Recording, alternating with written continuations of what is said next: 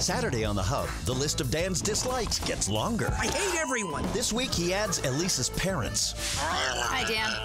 tape recorders, Oh! Oh! and undercover cops. You don't even look female. You monster! Why are you so hurtful?